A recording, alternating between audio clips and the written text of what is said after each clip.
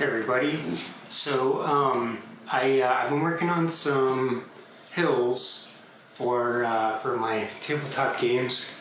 Um, I uh, you know I wanted to do something where I could pose things on top of it and then have like I felt like the hills that I had were kind of basic, um, but also I wanted these to just fit in in like any kind of setting, you know, whether it's like in a cave uh, for like the Underdark or something, or if it's like a mountaintop, or if, like Frostgrave, if it's supposed to be covered in snow.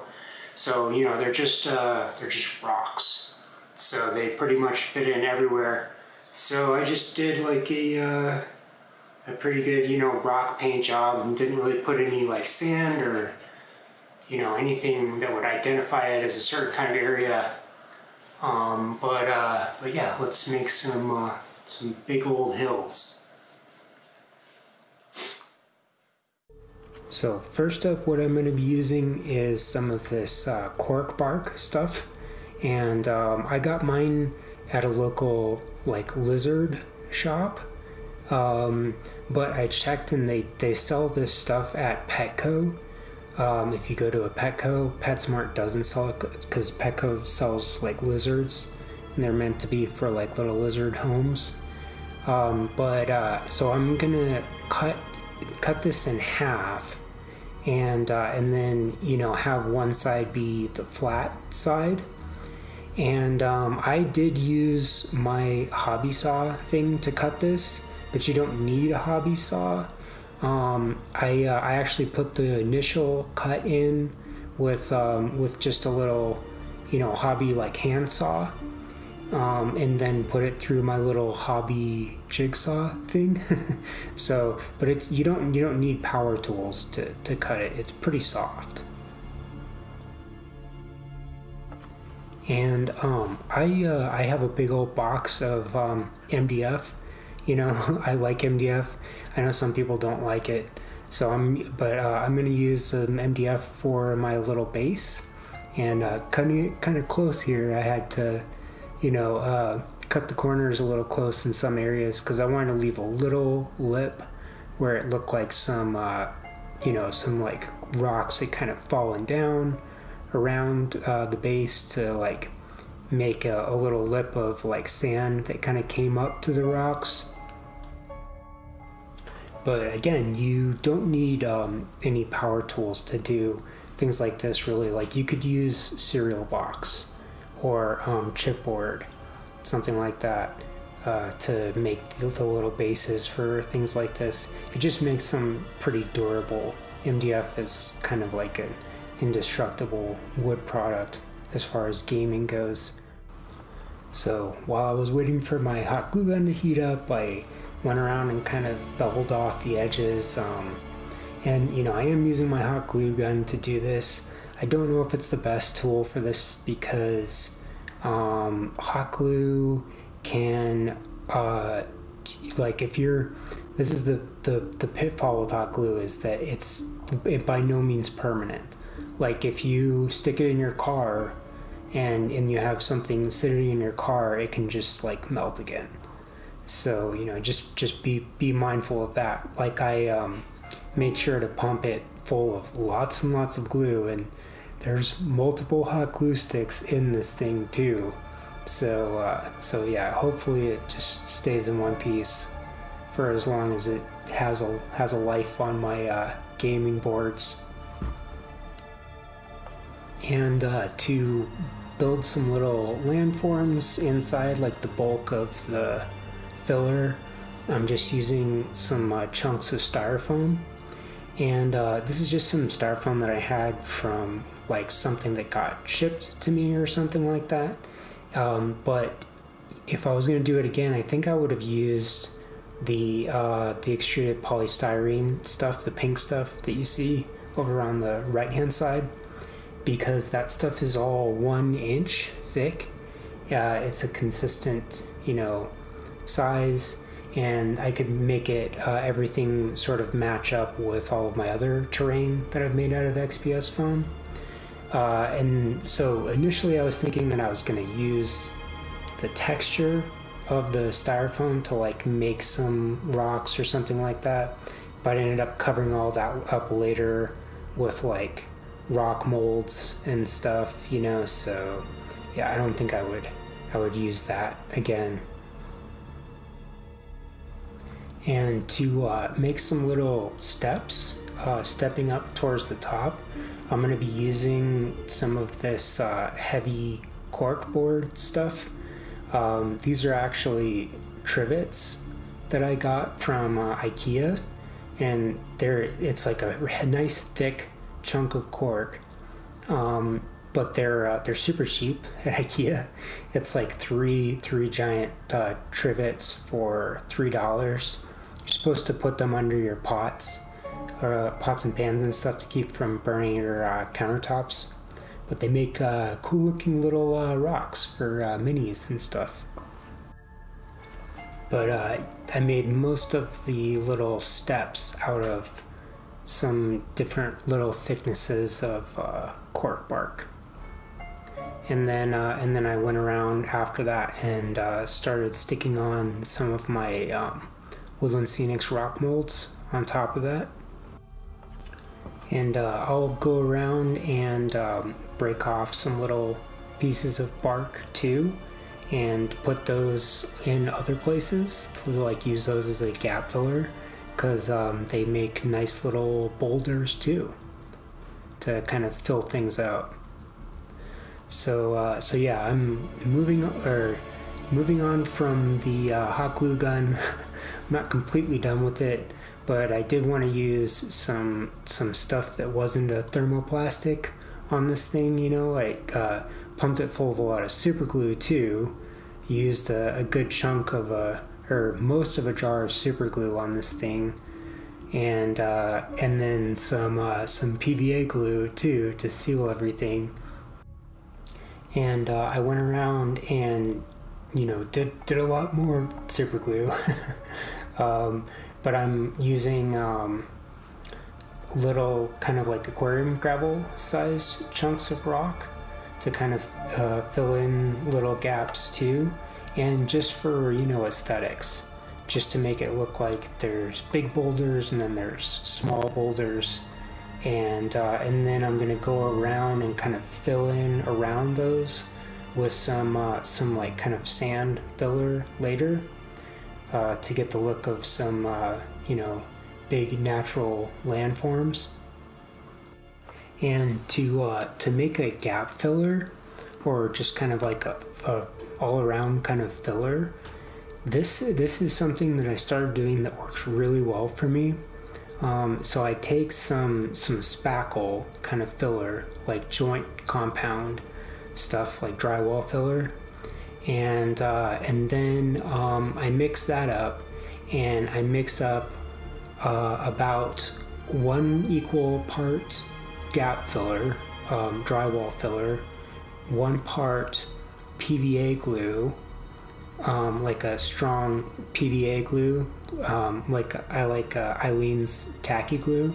It's just a really strong PVA glue, and uh, and then I use um, about an equal part of sand, and uh, and then uh, an equal part of water, and then I just mix all those together, and you get a really nice uh, textured filler paste that you can put down and it's totally sealed you know when you're when you're done mixing it up and then you uh, and you put it on top of everything it uh, it will not come up and then you don't need to like reseal it it still has that sandy texture but you don't need to like seal it down after you've glued it and then glued it down again you know but I'm gonna put that down just all over everything uh, I want to like fill in any gaps in between the little rocks.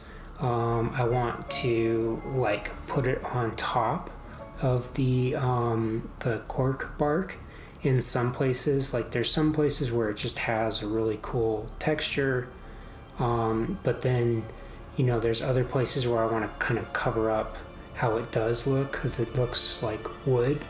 You know, it has like that wood grain sticking out So this is going to kind of cover up that wood grain texture and then I'm to put it like on the side of the, the MDF panel to kind of like hide the little lip. And uh, just you know all over the place. All over anything that I want to disguise any anything that I want to add some texture to just to make it look like um, sand and rocks and dirt and stuff so next I took everything outside and spray painted it um, I'm using a uh, a few chalky kind of finish uh, spray paints I'm using like a dark kind of slate gray and then a medium gray like from 45 degrees and then a white kind of color directly from above. And uh, I keep trying to do this thing where um, I, uh, I mix up a bunch of colors and uh, I have like a bunch of cheapo like dollar store kind of craft paints um, like uh, Apple Barrel, Americana. There's some golden in there too, but uh, but it's mostly uh, cheapo craft paints. And uh, so I'm gonna do light colors, and uh, this has not worked out for me yet. I, I keep experimenting with it. I keep trying to get it to work the way that I want it to, but I haven't quite figured it out yet. So what I do is I water everything down you know, at least like one to one water to paint, if not more. And uh, and then I'm trying to do this like watercolor thing, where um, basically I'm going light to dark. Uh, so I'll start with the the lighter colors, and uh, I just wanted to kind of get some sort of slate, you know, kind of um, different kind of lighter colors, like some some greens and some uh, some you know yellows and uh, things like that sort of mixed in so that everything doesn't look just like a shade of gray. Uh, so I'm trying to put some like uh, different colors in there and then I'm gonna start doing a dark wash all over everything after I've put in those other colors but this, for some reason this just never works the way that I want it to, and I think it's because I'm just going too light to begin with. I think that I need to work from like some kind of a gray scale, like a medium gray, and then try to do this thing.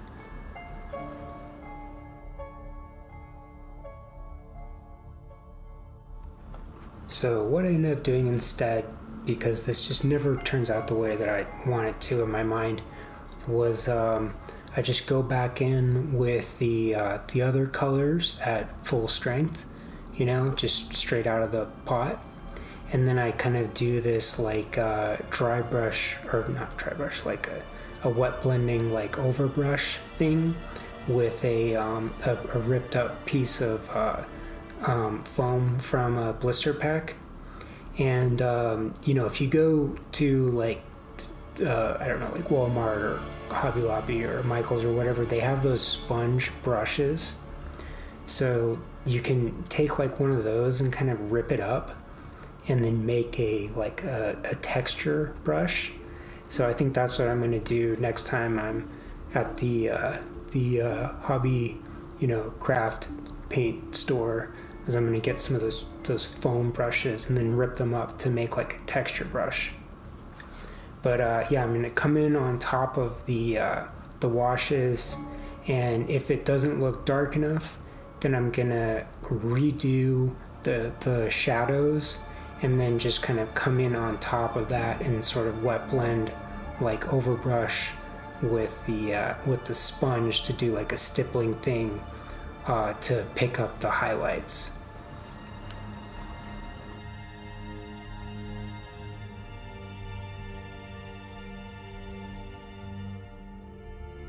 So then, after everything had dried for a little while, then um, I'm gonna come back in with again, you know, some of those same colors, those lighter colors, and uh, and then I'm gonna uh, dry brush on top of that. But uh, but this time I'm working dark to light, so I want to put in any of the darker colors like uh, I, I like that green in there. Um, so I'm just gonna kind of dry brush around with um, some of the the darker colors and this is still like it's a little bit wet still which is okay because um, it's gonna kind of tone down the chalkiness of the uh, the look of the dry brush. So um, you know like dry brush doesn't look bad on stone you know it's it's fine if it's dry but what if your rocks are a little you know moist? Like if they're in a cave but eventually I'm going to work up to uh, that highest uh, highlight last, which is that kind of uh, gray and uh, the sand color. And uh, just remember, you know, when you're dry brushing, that you're trying to create highlights. So if you're working on the top of something, kind of work in like little circles. Um, and then if you're, you know, on the side of something, then kind of come down uh, like uh, in the direction that the, the sunlight would be hitting.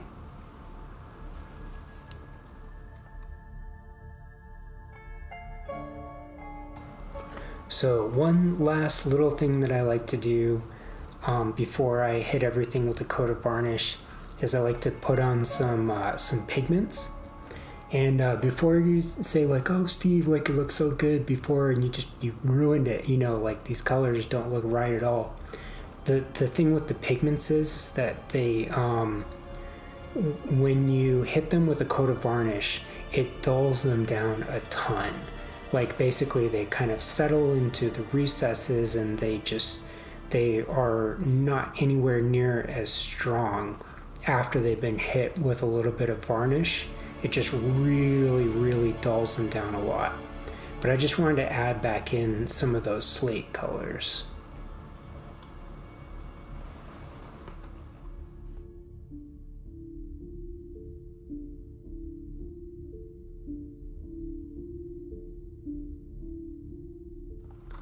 But yeah, that's it. That's the uh, finished product. That's how everything looks. Um, and uh, this is you know it's supposed to be more of like a um, a centerpiece you know. Uh, if you if you did want to have a tall like line of sight sort of blocking thing I think it's good for that.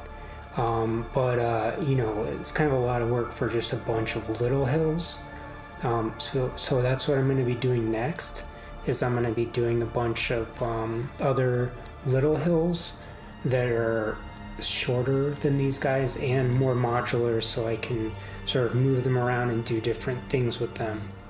But uh, but yeah, I really like these guys and just you know I feel like it just fits in in any setting. So really utilitarian for gaming.